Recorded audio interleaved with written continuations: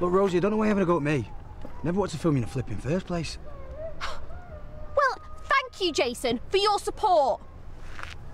Oh, great. This is all I need.